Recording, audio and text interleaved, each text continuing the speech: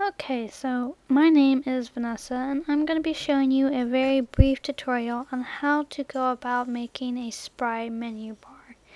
Now, first things first is you're going to open up Dreamweaver and you're going to come over here to a new file. We're going to be working with the basic HTML, no layout. And fair warning, when I upload or when I create my menu bar, it's going to look slightly different from your own because my settings are already preset from working with these menu bars all week. So if it looks different, don't worry. I'm going to show you how to change and adjust everything already inside. Alright, so first order of business is we need to save this document.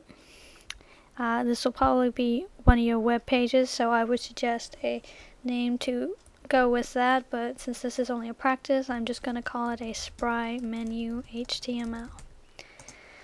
And again, come up to the title and give it an appropriate name. And then we're going to click into the body and go ahead and insert over here on the right panel. Go ahead and insert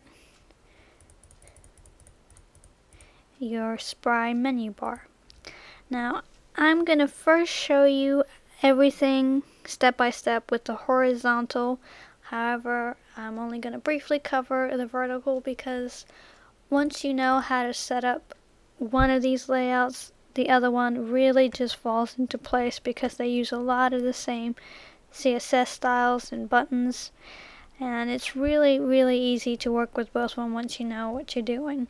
So I'm going to first create a horizontal spry menu.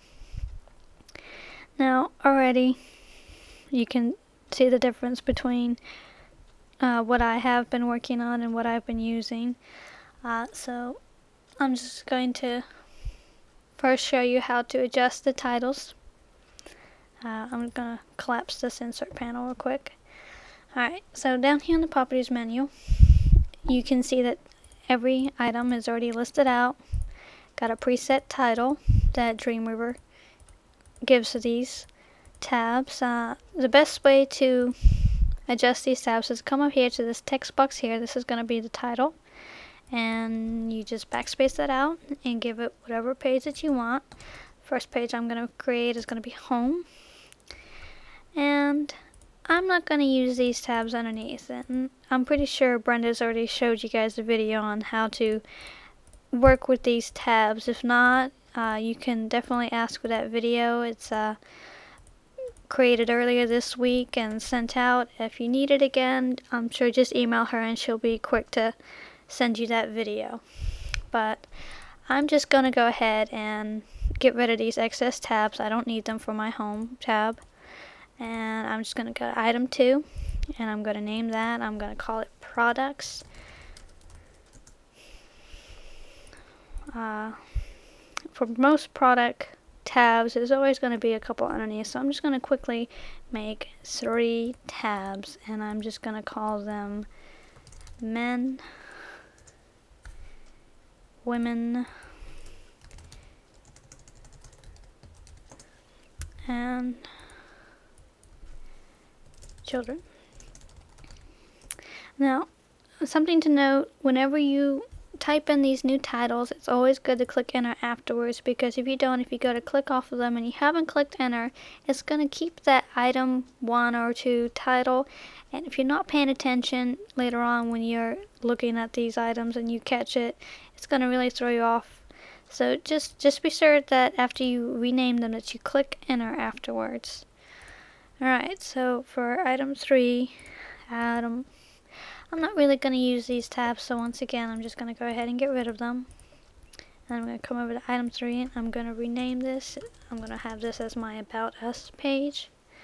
And lastly, I'm going to change this item 4, and I'm going to have it as a customer service page.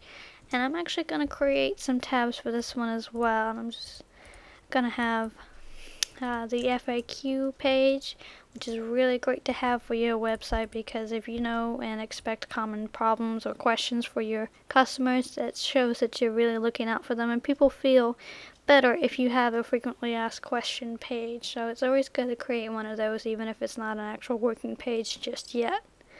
Uh, the last tab, I'm going to call it Contact Us. Another great page to have in anticipation for your viewers. So now that we have all of the pages created that, or the tabs created that we are going to use for our website, now it comes to actually adjusting these. But before we get into that too much, I'm going to quickly show you how to link these tabs to already pre-made pages that you may have. Now, for my home page, that's really going to be my index for my website. So if you know the title of your page, uh, it's best if the pages are working or in the same folder because it's going to attach itself to that index that you place here. Or if you're not sure that it'll grab the right page, if you say you have multiple indexes like I have, I have three index pages in my folder altogether. But if you really want to make sure you get the right one, you can come over here to this folder and click Browse. And you just go down into the correct folder and file and you select which file you want that tab to link to.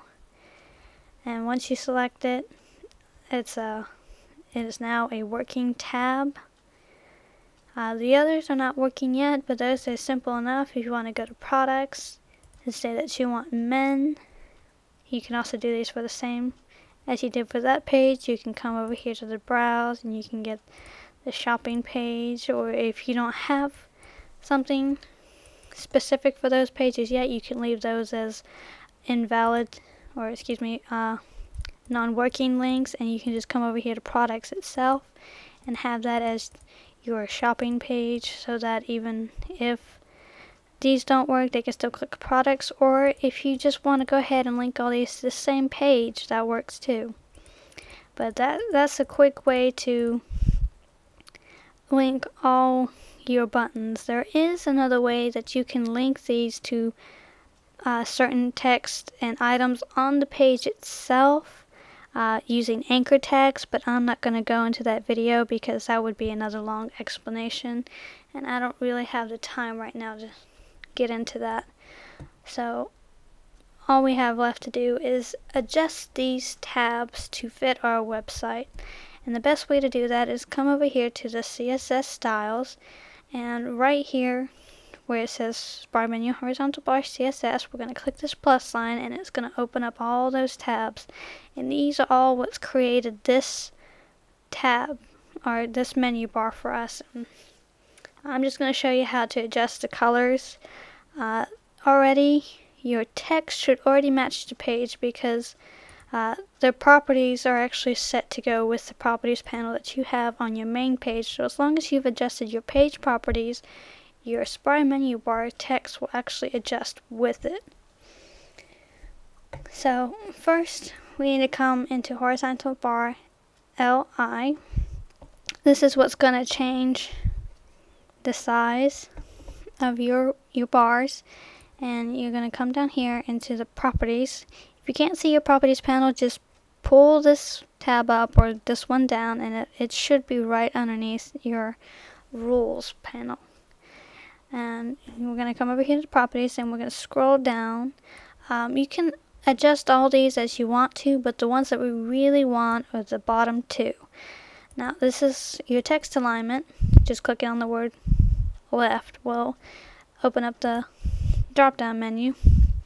And I want my text to be centered because uh, that's just how I want my tabs to look. If you want to keep yours left to right you can but this is this is the place to do it.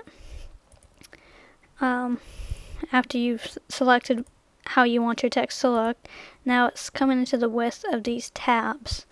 Uh, it's better to know ahead of time how wide your web space is going to be because if you know how wide it is then you can adjust your tabs to fit to that size or if you want them to be a certain size itself then you can go ahead and put that in but your menu will probably say 8.2 EMs. The first thing you want to do is change those EMs to PX or pixels because having pixel control over your website is a lot easier to work with and I'm pretty sure a lot of you are already working with pixel